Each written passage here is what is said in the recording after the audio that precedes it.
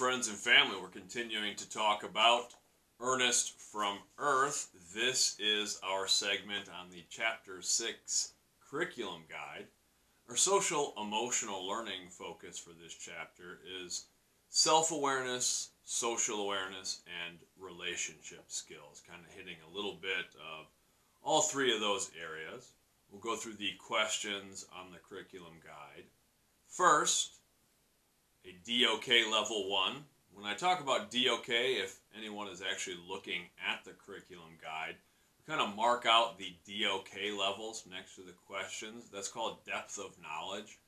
And if you're not aware of that terminology in an educational setting, basically a DOK 1, a depth of knowledge level 1, is the basic recall information. Can you recall the names of the characters in the story, the specific events that happen, and that goes up to a DOK4, which is more in depth, taking concepts and applying them in new and unique ways.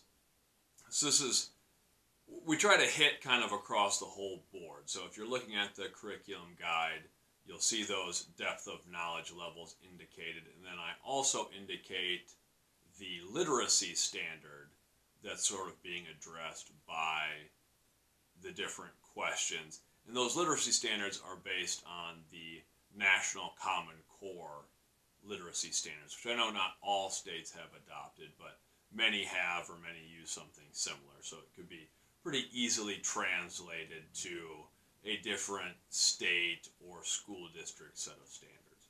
But starting off, what is Ernest's new acquaintance's name?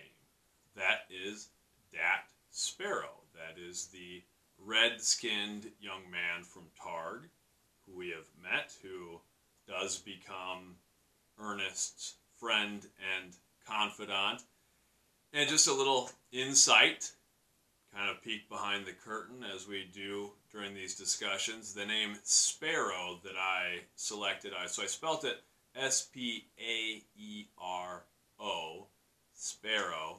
And I think I mentioned before, picking names is always sort of a difficult thing for me. I think sometimes I try to give it too much thought, but I'm always trying to, like, what do I want the name to be? So, like, I picked Ernest's name because I wanted him to be sort of this earnest character, spelt differently, but a kid who just sort of represented, especially early in the book, sort of an honesty and an innocence.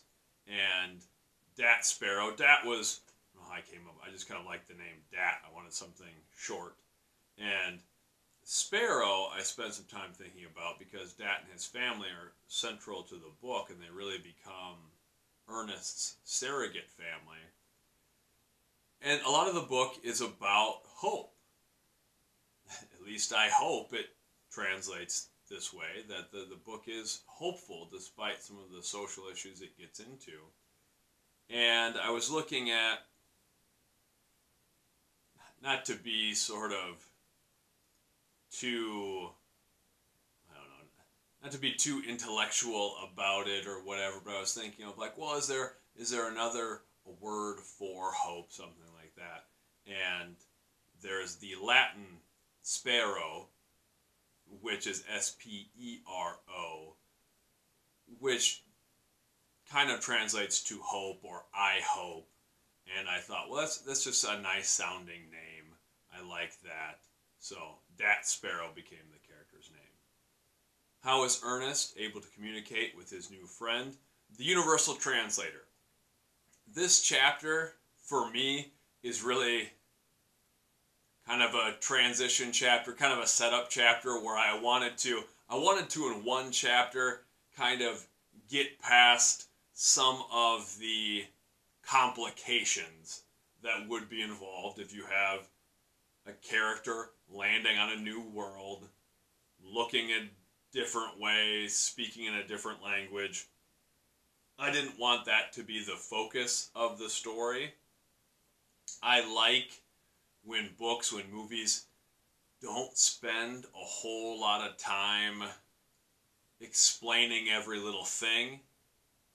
I think it's good to address some issues so then people aren't thinking the whole time, well, well, how does how are Ernest and Dat going to communicate? It wouldn't make sense that this kid on this different planet would also speak English or whatever. So I wanted to get past those barriers very quickly. So I just came up with this universal translator sort of thing. It's something that we've seen in science fiction books, stories, movies before, where there's something that allows a translation. And I really, I spent zero time explaining any science or trying to put any science into it other than there's an earpiece that Ernest puts in that allows him to get a real time translation of whatever Dat is saying or the other people on Targ. And then just because when I'm writing, I picture these things as sort of scenes in movies. I in my head I have sort of how the lighting is and how they're standing. I have a, a clear image of this.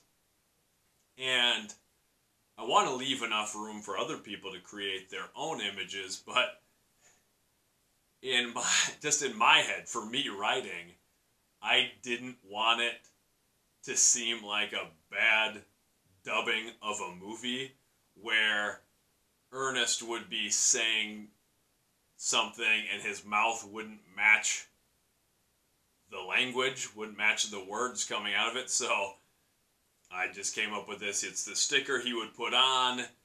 The technology would be advanced enough where it's going to essentially pick up his thoughts and it will actually manipulate his mouth to match the words so he can say in Dat's native tongue whatever he wants to say.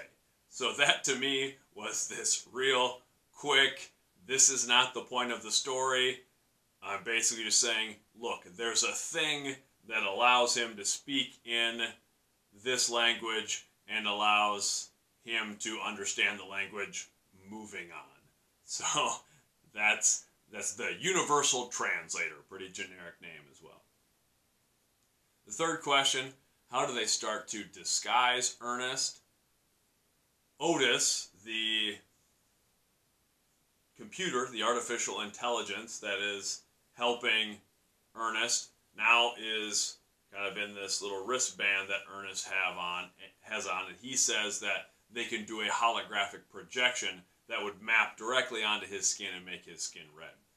That actually came from originally when I started writing it, they were going to cover Ernest up in makeup, basically. I had a scene written where they get back to Dat's house and he gets into his mother's like makeup foundation kit and they cover Ernest's face and hands and then make sure he's got long sleeves and all this stuff on. And not to ruin anything for those of you who may be going through this for the first time, but there is there's a scene later where it sort of comes up where his disguise is compromised and that was the original thought. It was going to have to deal with this makeup. But then as I thought about that, it's like, oh, that becomes a whole nother obstacle to be constantly dealing with. Like if Ernest touches something, it's going to leave this red residue on it. I feel like it's going to be pretty easy for people to, if this were a real situation, you'd be able to notice that it didn't look quite right, him having this makeup all over his hands and stuff, you wouldn't have the shading and stuff that you would in your skin normally. So I actually reference that in this chapter. That sort of maybe suggests, like, well, I guess we could do that. And then I undercut it by Otis coming in saying, like, no, that would not work very well. So th- that was really me having a conversation with myself of like, well, that's that's not a very good thing. And again, I don't want that to be the focus of the story is these two trying to pull off the disguise. That's that's not the theme that I'm really focused on. So I again come up with this very hey, we've got this technology, it can project this thing, your skin will look the same and feel the same, it'll just be red now. So that's how I got around that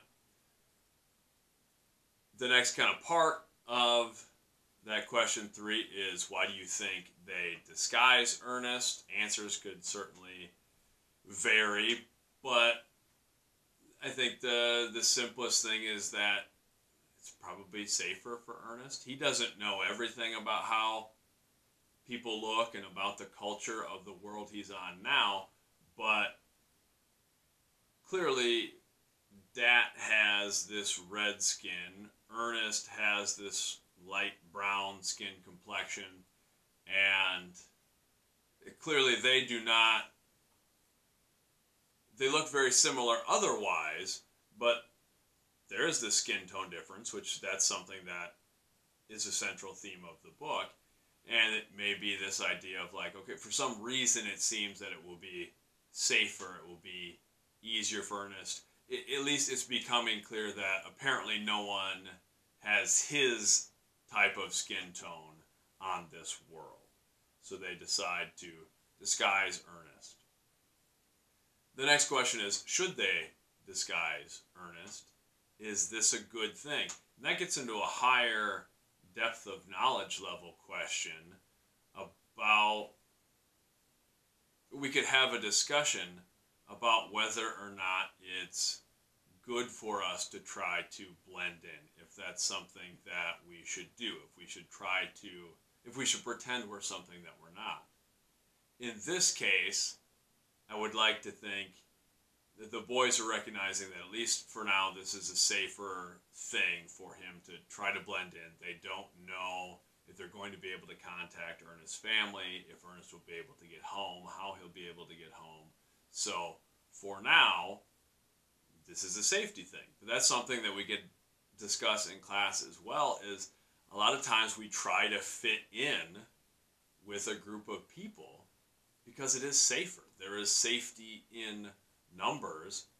And we do that a lot. We do that a lot through our whole lives where, okay, I may be willing to adjust the way that I present myself to fit in with this group because because I desire that sense of belonging because there is a sense of, of safety there. And it becomes a problem in our lives when we're giving up parts of ourselves, when we're selling off parts of ourselves just for that sense of safety and we're not living as we truly are. And that does become a part of this story as well. But for this initial point, it's it's trying to keep Ernest safe in this initial stage of the story. The next part of that question is how could being in disguise impact Ernest's point of view? Again, a lot of different things that could be discussed here. There are a lot of different things where Ernest might be experiencing things that he's never experienced. This kind of goes back to this is not a, a new thought, but I wanted empathy to be at the heart of this story, and it's it's been a theme that's been explored before. But what if you really could step into someone else's shoes? What if you could take on a different persona and live that way for a time and experience things from that perspective, whether it be step into a different race, a different gender, a different belief system, a different socioeconomic status, whatever it is, if you could step into that and experience things from that perspective. So a lot of different answers might deal with that. That Ernest is going to be living as someone else is actually stepping into stepping into I would say like a not necessarily a character.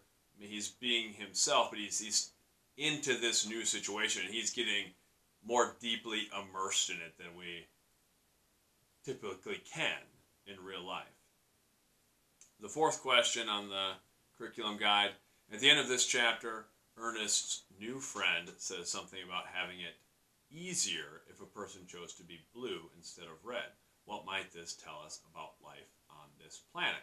We have not met any blue skinned characters yet, but this is kind of the one of the first clues that okay, there appear to be red-skinned people because we've met Dat.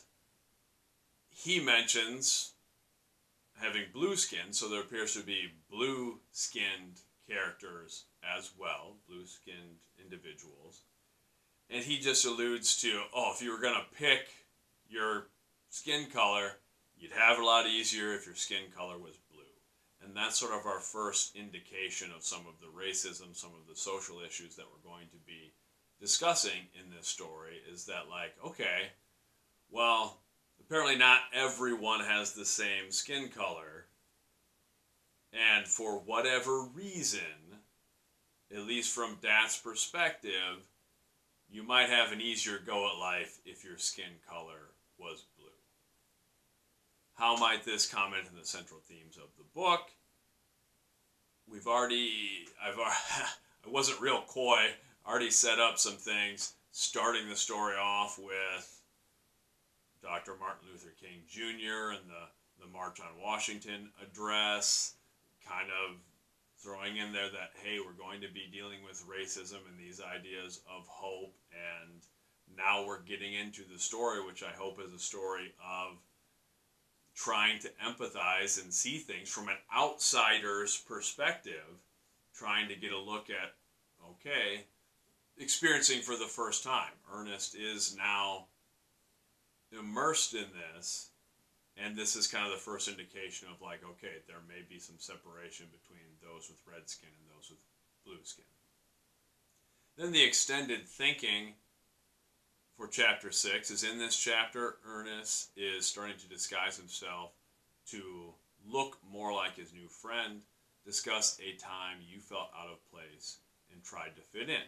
In what ways did you try to fit in? Is it good to fit in with others or not? Support your position. That tacks on to what we were already discussing a little bit just that idea of this is something that we do. We find ways to disguise ourselves, we find ways to mask ourselves in little ways so that we can fit in with the group, so that we can feel accepted. And I always think it's important when we discuss these things in class. It's it's okay to manage our behaviors. We may speak differently differently to a group of our close friends than we would to, say, our grandmother. Or we might talk differently to people our own age than we would to a child.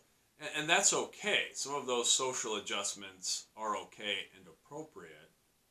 But it does become a challenging thing when we start disguising the important, the essential parts of who we are to try to impress others or to try to make connections or to try to fit in. And I think it is good for us to think about times that we have done that in our lives, where it's like, oh, I, I maybe wasn't being the truest form of myself because I was I was trying to be in with this group, and that's something worth examining. So sort of our extended thinking for this chapter. Thank you so much for joining me. We'll continue with these videos. That wraps up our analysis of chapter 6. Much love.